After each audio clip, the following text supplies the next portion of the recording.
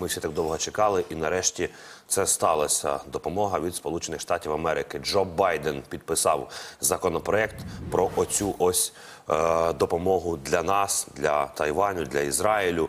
Е, про це президент США заявив під час свого виступу у Білому домі.